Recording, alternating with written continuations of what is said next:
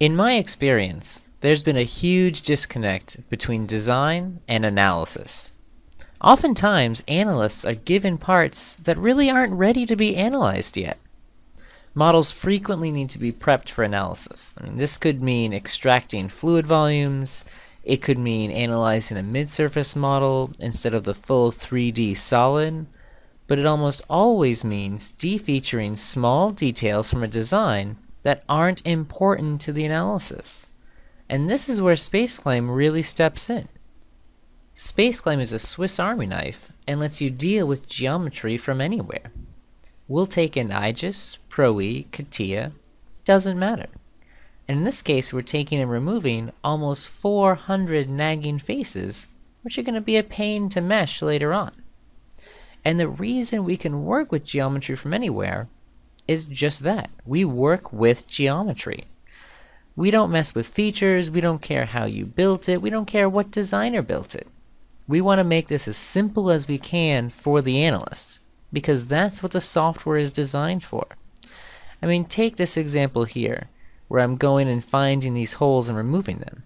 Notice some don't remove. It's hard to know what you get from the designer, so what we've done is we detect these problems, in this case the holes go into the ribs, and just allow you to select on the bottom of these holes. No problem. We don't make you reorder the feature tree and redefine everything that's there.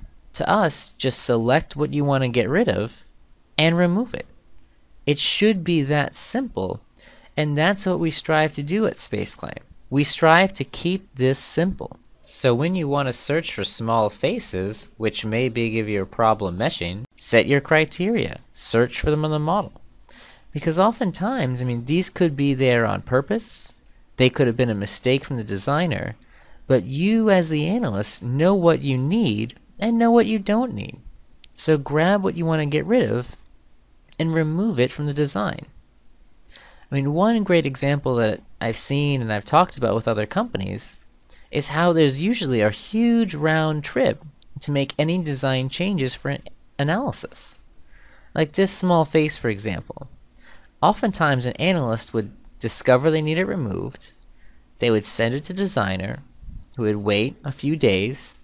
When they figure out how to remove it, maybe they removed it up to the bottom face, they would send it back to the analyst.